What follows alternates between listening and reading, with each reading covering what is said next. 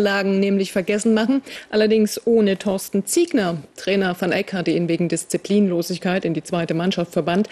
Eine Denkpause, die der Mannschaft offenbar ganz gut tat.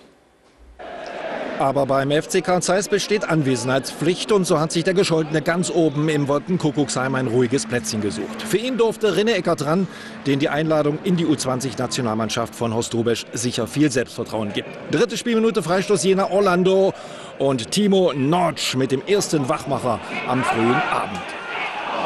Theo Schneider betreut seit fünf Jahren den Dortmunder Nachwuchs. So schlecht, wie es zurzeit unser 19. Tabellenplatz ausdrückt, sind wir nicht. Freistoß Borussia durch Tyralla und mit dem Kopf Jörn Neumeister das 1 zu 0 für die Gäste.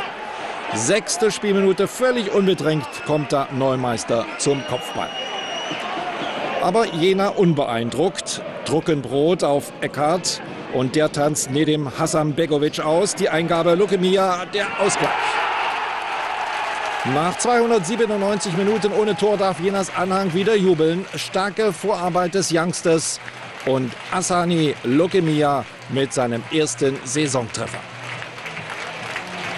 Danach investierte seine Mannschaft nicht mehr viel. Der Dortmunder Nachwuchs wäre nach 44 Minuten fast wieder in Führung gegangen. Doch der Ex-Magdeburger Christopher Kuhlmann rutscht am Ball vorbei. Erster Aufreger in Halbzeit 2 diese Szene.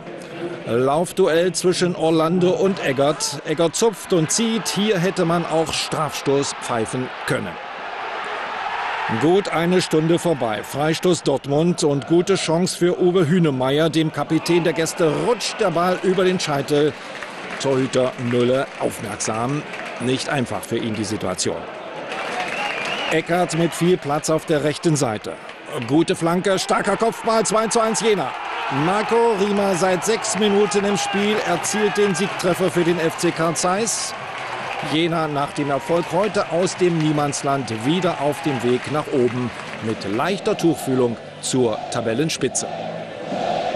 Auf Wiedergutmachungskurs ist auch Dynamo Dresden. Schließlich muss die Mannschaft von Rüd